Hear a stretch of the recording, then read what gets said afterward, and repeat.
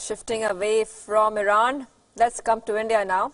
A researcher in India's IT capital, Bengaluru, has developed a medical device that offers a non-invasive and painless way of treating cancer cells, giving it the rare breakthrough tag in cancer research.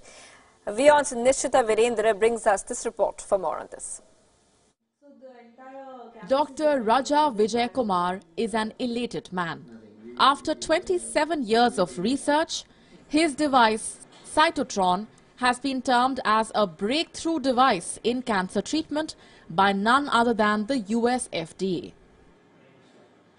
Cytotron, developed at Bengaluru Center for Advanced Research and Development, aids in tissue engineering of cancer cells to alter or modify specific proteins to stop the growth of the tumor.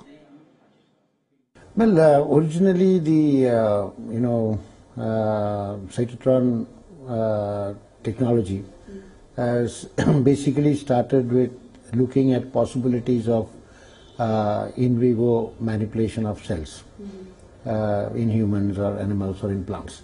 So we wanted to see uh, whether we can, uh, uh, you know, by tissue engineering methods, whether we can in vivo within within the body to uh, manipulate cells uh, to the benefit uh, of, uh, uh, you know, uh, clearing disorders. So that is how we started it. Unlike chemotherapy that focuses on killing the cancer cells, cytotron communicates with the cancer cells through fast radio bursts. They are used to regulate a specific protein or gene.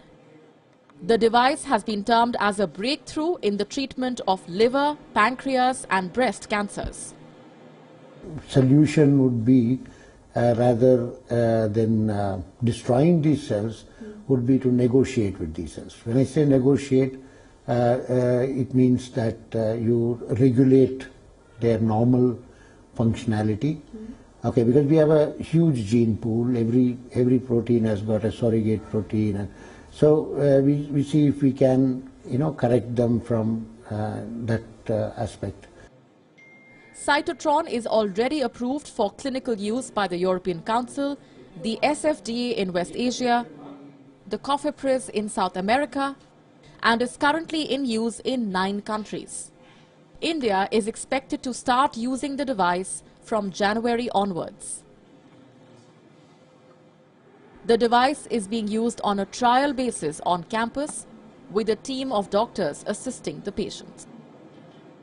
This seems like just a better way to treat cancer. Um, it's, it's, it's a test, it's a trial, but people have come out of this trial very well. I've talked to one, one person who had cancer 11 years ago. He's cancer free from this treatment. I was in a very bad shape when I came here, but by the eighth uh, day onwards, I started feeling much better. Now I am almost uh, feeling normal. The device was eventually put to use on non-healing fractures and can now treat a plethora of diseases apart from cancer, like arthritis, cerebral palsy, and ligament regeneration. Breakthroughs in cancer treatment are rare and coming from a researcher in India whose indigenous machine is making all the right noise across the globe is a matter of pride for the country. Not only is cytotron a painless, non-invasive form of treatment for cancer patients, but can also treat several other ailments that require modification of cell functions. In Bengaluru with video journalist Chandan, Nishita Virendra, WION World is One.